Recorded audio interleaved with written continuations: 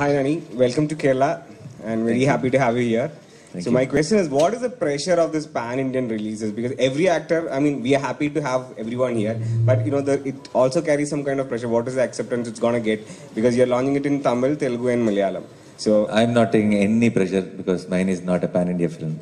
Yeah, it's just, uh, uh, I don't, uh, it, it- we are releasing in multiple languages, but it's not a pan India film. It's not releasing all over India, so we don't fall into that bracket. And I think now, particularly, we are listening, hearing that word a lot because. Uh, um because of all the platforms or how now because of the social media wherever whichever film in whichever language it's if it's good we are hearing it in our place that that some film is good and we are having some kind of access and we are watching those films so which is a very very good thing now i think the borders are being pushed slowly they're becoming invisible any film from any language if it is good it's being appreciated from all in you know in all industries so I, it's a great thing. It's going to be a big boost for films with, with great content. And like how like I, I know um, uh, just few years back, not many people in Telugu would have watched a lot of Malayalam films.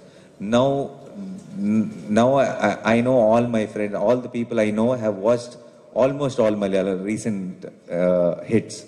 So uh, I know there's a lot of uh, Malayalam audience watching Telugu films. There are Tamil people watching Telugu and Malayalam films. So it's a very very healthy thing, and um, um, I hope this continues. I hope we all make great films and will be watched by just not the regional one language, but you know through the other audience too. Yeah.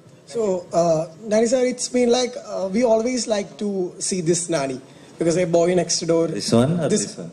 Uh, that one. That one. Okay, Because this you is this you don't like to see. You, you told it's scary, right? this I'll cover my face then.